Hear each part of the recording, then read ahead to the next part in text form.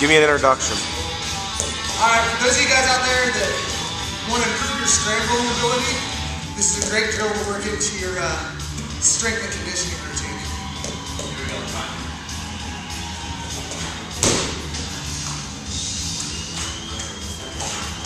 Where'd you see that drill, Adrian? Uh, TFW training squares, Frank Yeager, Martin